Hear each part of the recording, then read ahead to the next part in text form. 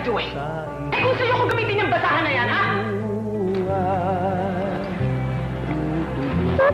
Charin. Inay? Ruthie?